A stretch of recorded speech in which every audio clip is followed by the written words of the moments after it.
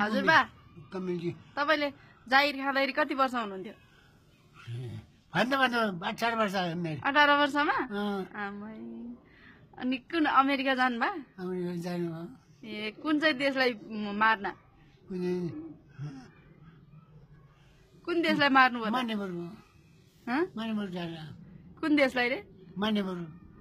होइन कि उता बाहिर जानुभयो नि? जागिर खान लडाइँ गर्न। कुन देशलाई मार्नुभयो त? लडाइँ गर्नुभयो पूर्व मालेरीमा। हो? धेरै त मालिया। अनि अनि मालिया पूर्व अमेरिकाको सपोर्टमा जानुभयो? अनि त्यहाँबाट कुन देशलाई चाहिँ मार्नुभयो अरे ध्वस्त कुन देश मार्नुभयो त? त्यसको नाम जान्दैन अघि भन्नुभएको थियो त?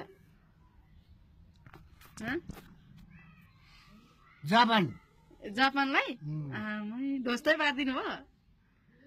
त्यो बिराइमै खनायो बोरमा कोसिन। खनायो बोरमा बसेर टेक टेक टेक सासु भिएन टेक ढुङ्गे म चाहिँ त अहिले जाछलाई किन मान्यो भने?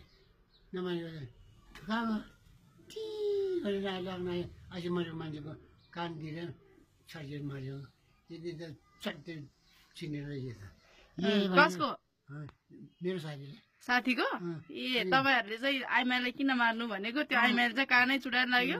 साथीको? अनि गोलीले अँ, हाम्रो हेरेर अलि सानो आउँछ। ती ती ऊ त्यत्रो आउँछ। ऊ ए, त्यो त सानो हुँदो रहेछ गोली ए।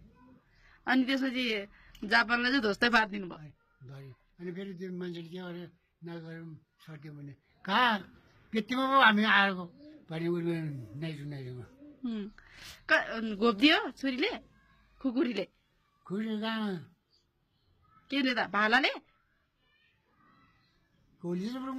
गोलीले नाइटो नाइटोमा.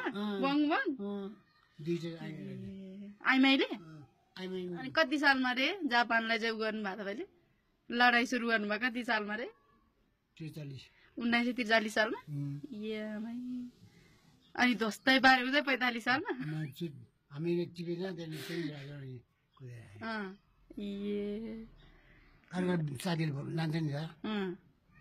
ए अनि त्यो लडाइँ सिद्धेपछि चाहिँ आउनुभएको फर्किनु भयो त्यसो पछि त्यही मारेर पनि आएर पनि आउँछ आउँदैन पाउँदैन। त्यही। त्यहीँ? बस्नुभयो? हुन्छ नि अँ। बस्ने हुन्छ नि। ए। उसले उसले मारे जितेर मारे मर्छ। सिउ बनाइदिन्छ अनि स्यादैन बुझ्दै छोडेर छ अनि हाम्रो उसको पऱ्यो भने बोकेर लान्छ। अनि विदेशमा चाहिँ नेपालीलाई के भन्दो? को आयो भन्दो रहेछ अरे? लामा। लामा भन्छ। लामा भन्छ र? लामा खाले गुरुङ अरे। हो लामा घले गुरुङ भन्दो रहेछ। ए। गोर्खाली आयो भन्दैन रहेछ?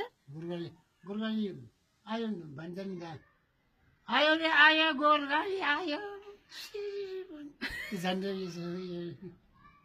झन्डै पनि फहराउनुहुन्छ? नेपालको कि अमेरिकाको? यहाँ नेपालमा कहाँ हुन्छ अमेरिकाको झन्डा फहराउनु भयो। अब साथी अब न झन्डै क्या हुन्न नि। उसो भने उठ्ने तपाईँको पनि ताप्ने अँ। यसो गरेर लुक्ने यसो गरेर आउने।